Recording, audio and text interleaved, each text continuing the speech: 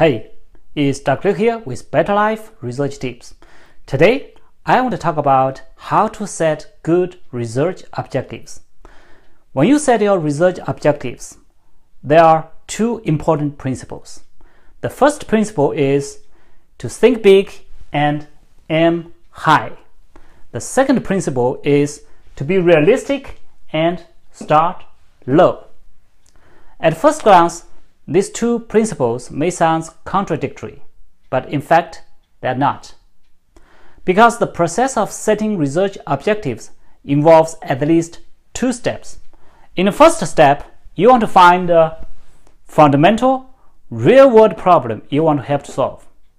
Solving the problem should have a significant impact because you want to be part of something important. You do not want to focus your work on small hope because if you are not contributing to a big or important fundamental problem, even if you work hard and do a great job, your impact will still be limited. In order to be important and impactful, you need to think big and aim high. But on the other hand, targeting a big problem and aim high does not necessarily mean big and complex objectives. You are not expected to solve all the problem in one study. You should focus on something that you can handle. You want to start low and take realistic and small steps. Therefore, after you identified a significant fundamental problem, the next step is to figure out realistic objectives that help to solve the identified overall problem. Your objectives should be realistic because you want to be credible and have acceptable chance of success.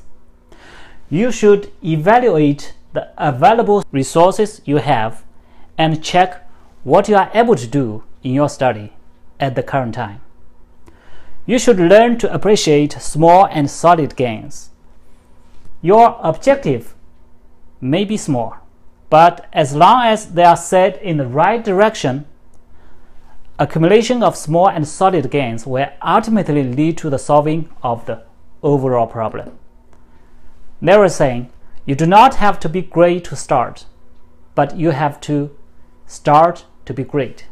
Sometimes you may want to set a clear goal or aim for solving the overall problem. The goal is something you are trying to achieve and it provides direction for your work. The objectives are the steps you take to get to the goal. The goal is the destination, and objectives are your milestones.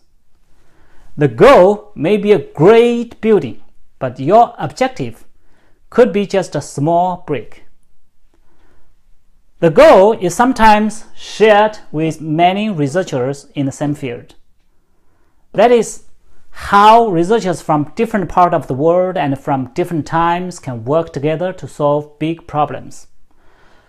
But for objectives of your study, you often have to take ownership. In order to set a meaningful goal, you need to understand your field and the critical need of your target audiences. It would be nice to get advices from other people in related field. Professional conferences are a great place to meet people, to meet expert in your area and get these advices on your goal. But for the specific objectives in your study, there may not be a lot of people who can understand. You may have to rely more on yourself. Your reading, your preliminary results, your advisors, and your colleagues who work closely with you. In fact, when you write your literature review, one of the main tasks could be to establish the relationship between your research objectives and the overall goal. You may need to provide a rationale for your proposed research objectives. You want to persuade your readers that your proposed research objectives will contribute to the solving of a fundamental real-world problem or contribute to the overall goal. It is common that the significance of the fundamental problem or the overall goal has already been well recognized by the research community. Therefore, in your literature review, your main task is often to provide your special angle for solving the identified problem by proposing your specific research objectives. The diagrams here explains the typical structure of a research paper. In the literature review or the introduction section, you move from a fundamental problem to a specific critical need, and then you continue to move to a more specific research objectives, and you prove to your reader that your proposed research objectives will make solid contribution to the solving of a fundamental problem and in the same time they are realistic and feasible. After you complete the specific task defined by your research objectives, you got your results and you can describe how your results realized your objectives in the discussion section.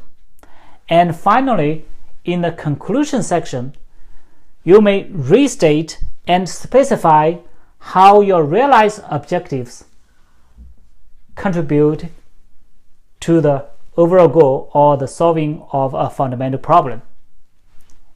And what are the next steps?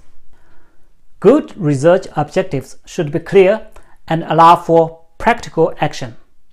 Sometimes they should reflect the methodology part to some extent. Achievement of the objectives should be measurable. Two common types of quantitative research objectives are descriptive objectives and analytical objectives. For descriptive objectives, a common verb to use is to estimate. For example, the objective can be to estimate the value of a certain variable using a certain method. For analytical objectives, a common verb to use is to determine. For example, the objective can be to determine whether variable A is affected by variable B. Of course, there are many other variables can be used, but it is generally not a good idea to use the verb such as to study or to investigate in research objectives. Because these verbs are not specific and clear enough, and achievement of these kind of objectives are not actually measurable. To have a measurable objectives can be very important, especially when many researchers from different parts of the world are working together towards a shared goal, and your research is part of a group effort of the research community. In order to build a great building together, you need to make it clear for the size of the brick you make and how others can use your brick in the building. Thanks for watching. I'm Dr. Liu with research tips for the underdogs. In the next video, I will talk about how to narrow down your research question and focus your topic to the appropriate level. Until next time, keep studying for a better life.